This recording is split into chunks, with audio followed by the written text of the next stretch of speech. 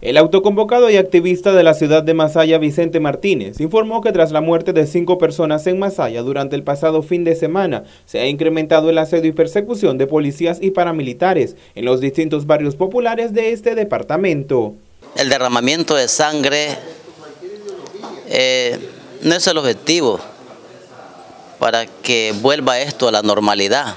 Más bien esto se va descontrolando cada día más la economía va cayendo, los problemas políticos se van agudizando y la situación no mejora, ¿verdad?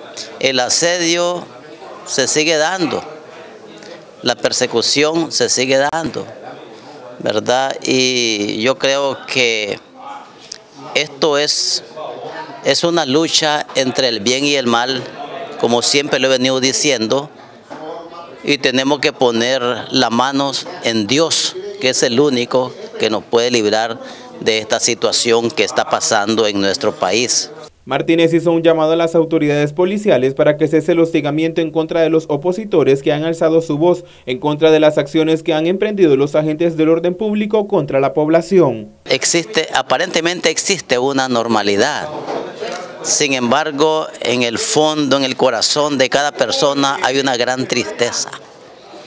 Vos mirás los rostros de los masayas, te puedes ir a los barrios de San Miguel, eh, Monimbó, San Jerónimo, y te das cuenta que en aquellos rostros no existe una normalidad, existe una tristeza grande en cada nicaragüense porque nos estamos matando entre hermanos.